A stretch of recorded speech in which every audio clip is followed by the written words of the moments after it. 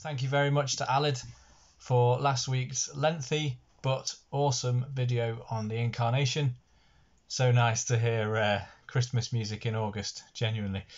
Um, this week is a shorter one by comparison. We're teasing some doctrines that we'll talk about more over the next couple of weeks and months. Uh, this week specifically, we're looking at the virgin birth, which is the common name for the biblical truth that Jesus was conceived supernaturally by the Holy Spirit in Mary's womb. No human father involved, though, of course, Joseph did raise Jesus as his son uh, once God had explained things to him. So, in other words, a miracle, a very clear act of God. And the virgin birth is taught in Scripture, uh, and it's a doctrine that the church has believed since the beginning. Uh, with, as usual, there have been some dissenters because you can't get rid of them, can you? But does it matter, the virgin birth? Um, some people in the church today will deny this doctrine. Um, does it really make a difference? After all, Jesus was born, so does it matter how he was born? Well, the answer is yes, it does matter. The virgin birth matters an awful lot, uh, more than I have time to go into today. So I'm just going to suggest a few reasons why it's important. Um, but first, we'll see what the Bible says about it and we'll pray. Heavenly Father, thank you for the virgin birth. Thank you uh, for the birth of your Son, who was fully human and fully divine, that we'll hear more about next week. Thank you that you, by the power of the Holy Spirit, created a human baby in Mary's womb, and that baby would be our salvation.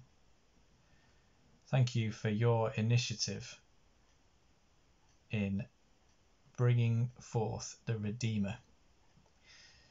And thank you in Jesus' name. Amen. Uh, let me just get the passage. Um, quicker to get on here. We're in Matthew 1 18 to 25. And we're just going to read Matthew's account. Luke writes um, about this as well, but we're going to read Matthew's version. Matthew 1 18. This is how the birth of Jesus the Messiah came about.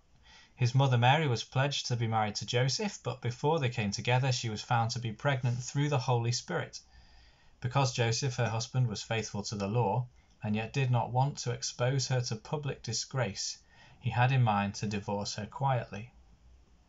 But after he had considered this, an angel of the Lord appeared to him in a dream and said, Joseph, son of David, do not be afraid to take Mary home as your wife, because what is conceived in her is from the Holy Spirit.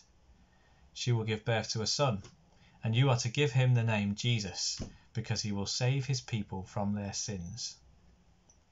All this took place to fulfill what the Lord had said through the prophet. The virgin will conceive and give birth to a son, and they will call him Emmanuel, which means God with us. When Joseph woke up, he did what the angel of the Lord had commanded him, and took Mary home as his wife. But he did not consummate their marriage until she gave birth to a son, and he gave him the name Jesus. Now, I think Matthew's very clear I'm going to read that again. I'm going to emphasize the bits where he draws our attention to the fact that this isn't a normal conception. This is how the birth of Jesus the Messiah came about. Mary pledged to Joseph, but before they came together, she's pregnant. Not so bad these days, but in those days, social rejection, shock, and horror. Joseph obviously knows it's not his because he plans to divorce her quietly to avoid too much shame. God appears to Joseph then and, and says, What is conceived in her is from the Holy Spirit. So Joseph sticks around. Matthew continues, All this happened to fulfill the Old Testament scriptures that the virgin will conceive and give birth to a son. And finally, Matthew ends on a note that Joseph did not consummate their marriage until Mary gave birth, implying that he did after. Um, Matthew really wants us to know, doesn't he, that Joseph was not the dad.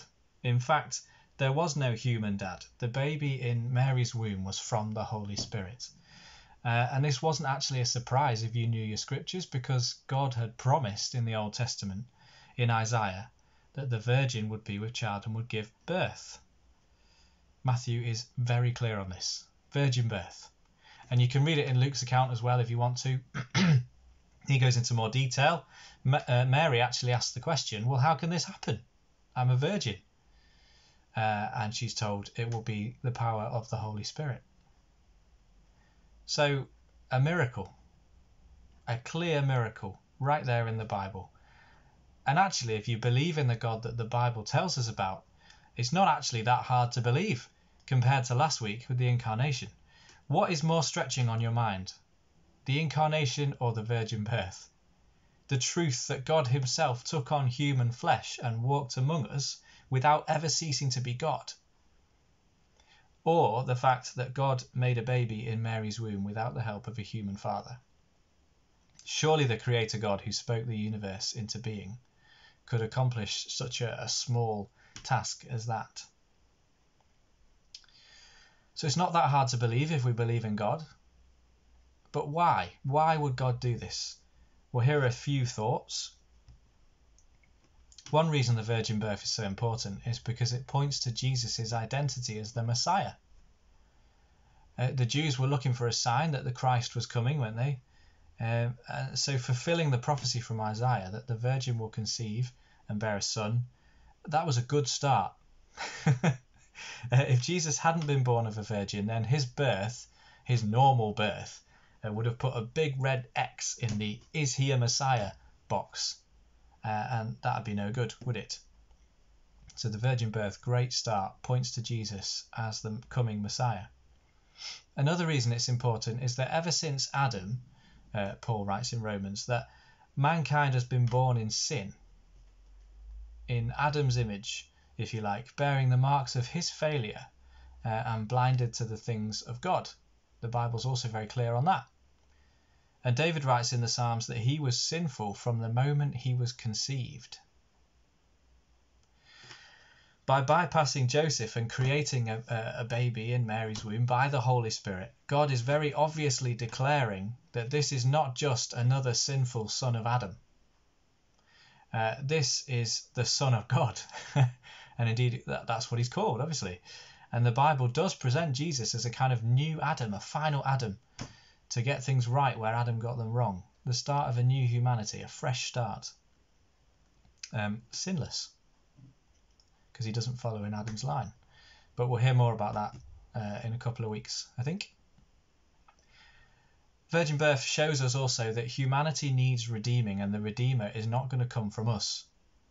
God must act, God must intervene to bring redemption. Our sin and our guilt are so profound that the Saviour must come from outside, from elsewhere. It must be God Himself. Uh, and it shows us God's initiative in salvation. He didn't send an angel down to canvass the women in the local area and ask who wanted to bear the Christ. God chose Mary. She was favoured by Him, we're told. Uh, and she became the mother of the Messiah. And as she sang for herself, from now on all women will call me blessed. So God acted to save his people and he did not wait to ask our permission.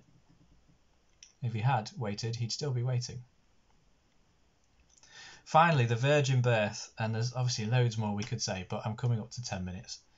It hints at something that we'll hear about next week. That the, the fully human and fully divine natures united in the one person of Jesus. Here's a quote I found online on the Desiring God blog post God, in his wisdom, ordained a combination of human and divine influence in the birth of Christ, so that his full humanity would be evident to us from the fact that his ordinary human birth from a human mother, and his full deity would be evident from the fact of his conception in Mary's womb by the powerful work of the Holy Spirit. So, hints of what's to come in Jesus' life. So, the virgin birth clearly taught in the Bible, uh, something for us to believe and rejoice in because it points to Jesus as the Messiah, the fulfillment of Scripture, uh, and it reminds us that salvation is all from God. See you next week.